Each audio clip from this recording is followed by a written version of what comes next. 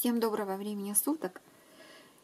Я начинаю свое очередное видео с вот этой брошки, которую уже не раз, не раз уже показывала э, вам.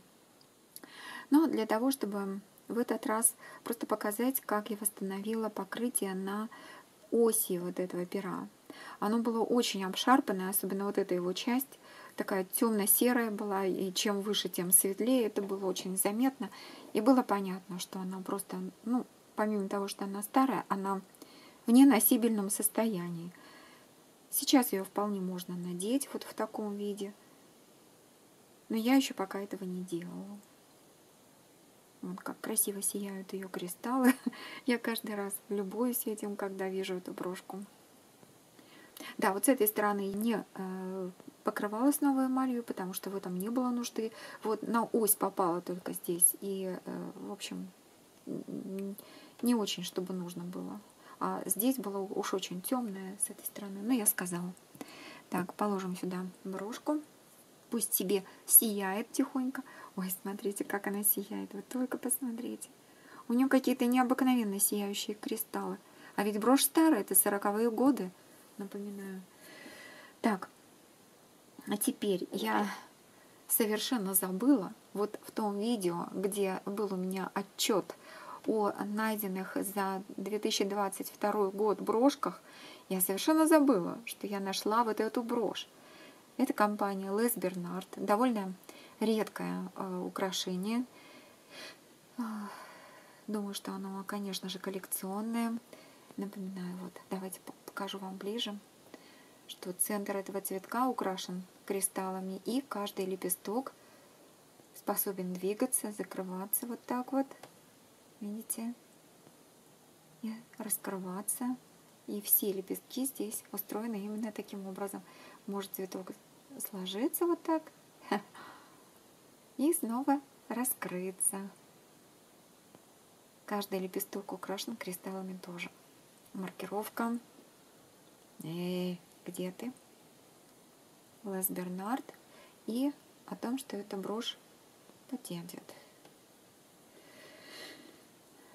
Вот так. Мне нравится раскрытый цветок, поэтому еще и лепестки еще и поворачиваются вот так вокруг своей оси, но немного.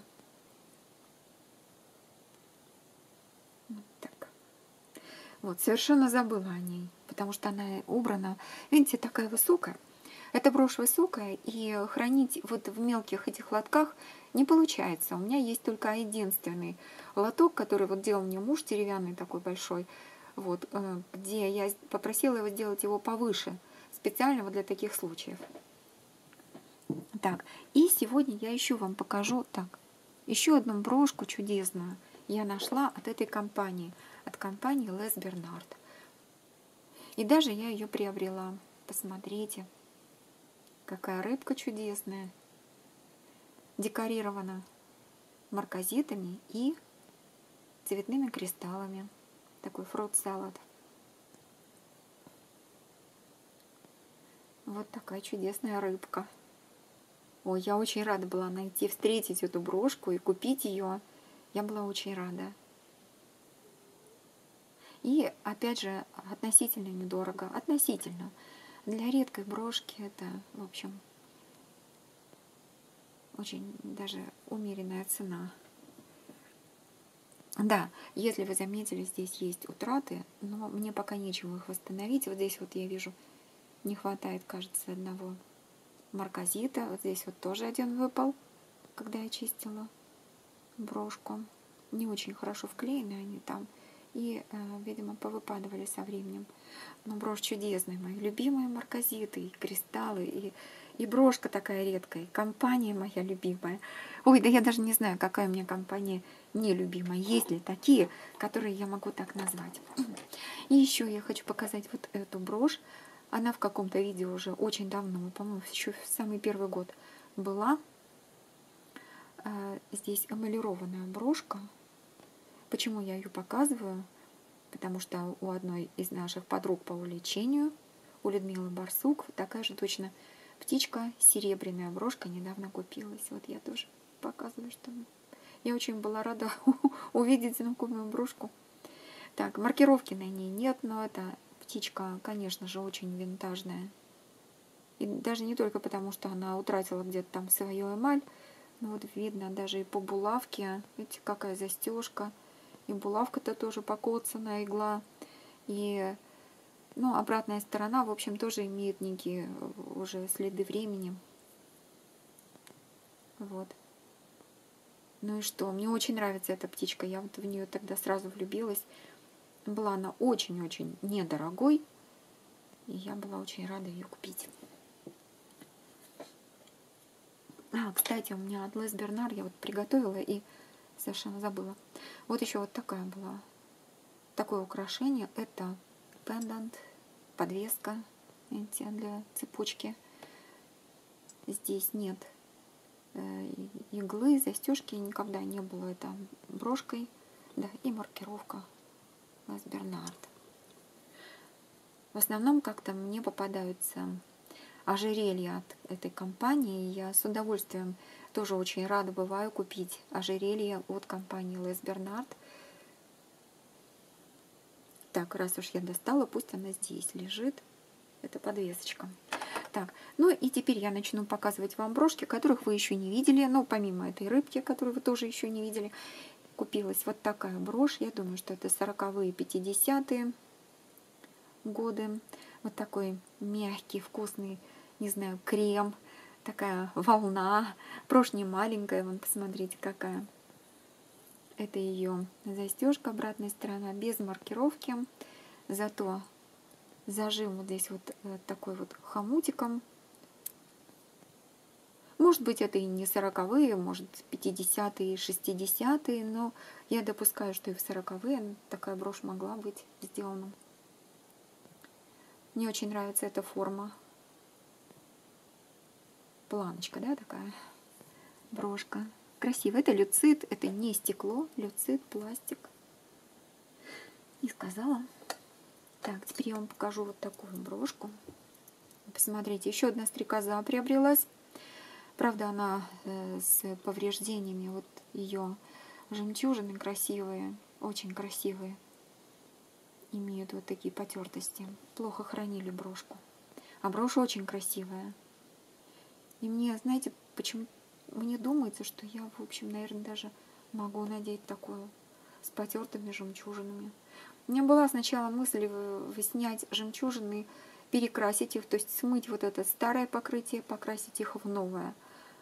Я этого никогда не делала, поэтому не э, пока не буду сама себе такие планы строить. Надо что-то взять, какую-то стеклянную бусину, покрасить, посмотреть, как это получается, как это работает, и потом уже, возможно, запланировать такое мероприятие, такую э, реставрацию. Ну а пока просто красивая брошь. Я, знаете, когда я на нее смотрю, я не вижу никаких этих вот потертостей на э, жемчужинах. Хотя они, конечно, заметны. С тех пор, как я их заметила, вот разглядела, я, конечно, их теперь вижу теперь все время. Итак, это компания Монет. Классная брошь. Очень рада ей. Была у них серия брошей с жемчугом и кристаллами. Вот, видимо, это из той серии. Брошь не маленькая, но видите, какая большая. Очень даже солидная. Так, теперь давайте вот покажу вам вот такую брошь. Я буквально хочется сказать, что я хочу даже вам похвастаться, но поскольку мне эта брошь очень нравится, я просто вот даже... Ну нет, мне здесь все, все очень дороги, очень нравятся, абсолютно все до единой.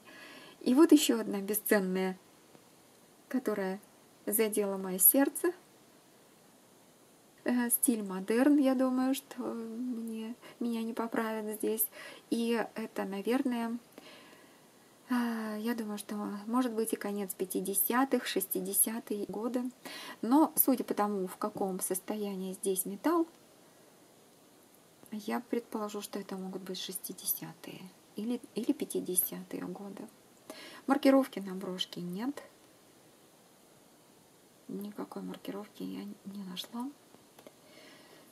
Ну, в общем, здорово. Я очень рада была увидеть этот перламутр здесь. Я проверила зубами, и звучит это убедительно, как настоящий перламутр. Но это не стекло, нет. Перламутр может быть. Итак, положим вот здесь вот птичка, веточка. Так, очень интересную брошку вам покажу. Э, в компании моих котов а, серьезное пополнение. Целых две брошки прибыло. Ой, три. Третья в ремонте. У нее булавки нет. Итак, вот такой котейка.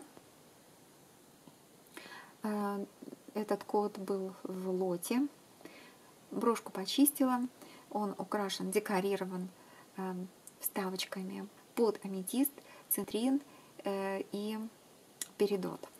Очень славный котейка. Брошка не маленькая, очень даже заметная вообще, замечательная брошка. Так, и у нее маркировка. Маркировка. Где там? Как это? А, не в ту сторону, что ли? Да. Итак, маркировка о том, что это стерлинг. И расписался автор Уай.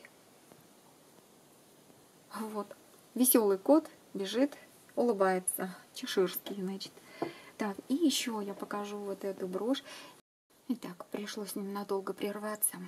Итак, брошь, которая мне очень понравилась, маркирована очень, э, то есть, нет, маркировка не, не то чтобы очень странная, но как бы дизайн для этого производителя мне кажется очень необычным. А здесь производитель, кто бы автор этой броши, компания Маркировка на брошке компания Горхам. Эта компания вообще очень-очень старая в Америке. А, вот я специально узнала, когда они начали а, работать, то есть появилась компания в 1831 году. Но а, занимались они, их самое главное, в общем, самый главный бизнес – это производство столового серебра. Серебро, золото, то есть все, что э, касается ложки, вилки, ножи и всяческая такая вот э, silverware, которая сопровождает э, дорогие обеды, либо обычные обеды в дорогих домах, в богатых семьях. Вот. А также у них была линейка украшений. Но вот такой дизайн, мне кажется, очень необычным для них. Обычно их, все, что мне попадается, оно такое штампованное, как бы серебро, в стиле арт-нуво, как э, дизайн очень похожий на э, то, как украшены черенки ложек и вилок. Ну вот видите, попалась еще вот такая брошь. Компания очень долго работала на рынке замечательно. И вот так, сейчас скажу, в начале этого века, 21 века, они, э, в общем, обанкротились и э, слились с компанией Lennox. Эта компания выпускает фарфор, напомню. С тех пор принадлежат, то есть являются э, бренч, веткой этой компании Lennox. Ну что же, ну пусть, лишь бы они только были. Кто-то же будет производить в любом случае все силовое. Так, знака копирайта здесь нет, который был, э, ставился, на поголовном большинстве украшений после середины 50-х, значит, это было сделано несколько раньше. С блестящими зелеными глазами кошки с большими глазами. Мне очень нравится этот дизайн. Очень необычный, несмотря на то, что кошки вообще очень такая тема любимая у дизайнеров бижутерии и fine jewelry. Ну вот, вот такое мне понравилось очень. Я думаю, что это тоже, наверное, модерн. Но если вы меня поправите, с удовольствием приму ваше мнение. Еще я покажу вам еще одно перышко приобрелось. Посмотрите, я все-таки отношу такой дизайн, э, называю пером. Перо ангела. В очень хорошем состоянии покрытия. И это еще одна моя любимая компания. Кому-то, возможно, знакомо это перо. Краун Трифари.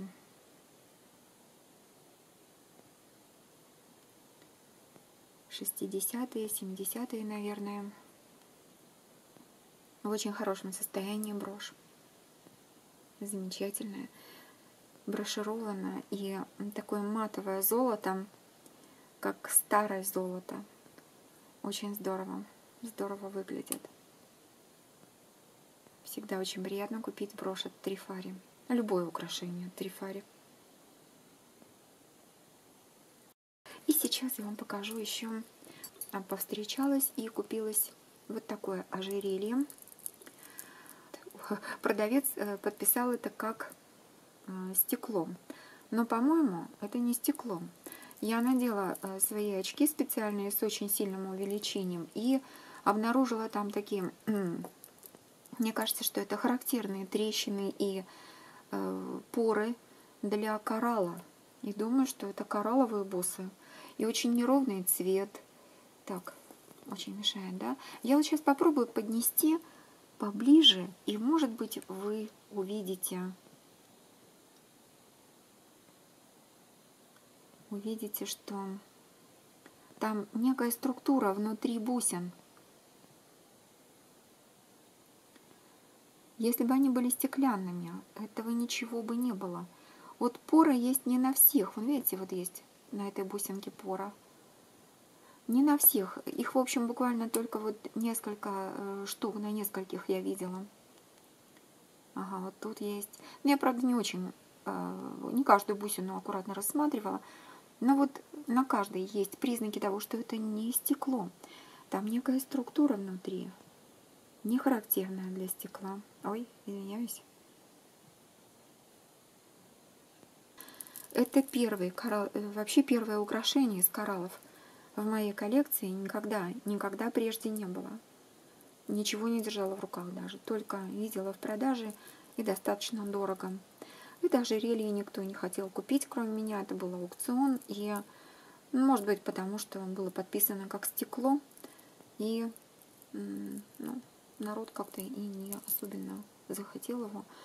А, замок здесь стоит винтажный и а, подписан, что это серебро 925. Ой, не с этой стороны, а вот с этой стороны. Вот даже не перевернула, смотрите. Видно? 925 на, на собачке, вот на этой вот, на зажиме, на фиксаторе. О.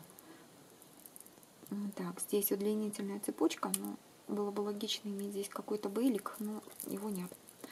Ну вот, посмотрите, какие боссы купились. Замечательные боссы. Как я хотела коралловые боссы, у меня, когда появилось серое платье в русском стиле, эм, ему очень, просто вот ну очень нужно было, чтобы были коралловые бусы, мне очень хотелось. Ну, правда, не такие розовые, а хотелось бы красные, но ладно, пусть будут роз розовые. Но зато у меня были стеклянные красные бусы. Вот их я и носила с тем платьем. Ну, платье до сих пор живо, я его очень люблю. И ношу я это только летом, поэтому вот этим летом буду фигурять и в новых вусах. Так, ну, кажется, все, что я хотела показать сегодня. И в этот раз тоже с нетерпением жду ваши комментарии по поводу э, любого из этих украшений. Огромное вам спасибо за ваше внимание. Всего вам доброго. Будьте здоровы. Берегите себя и ваших близких. Пока-пока.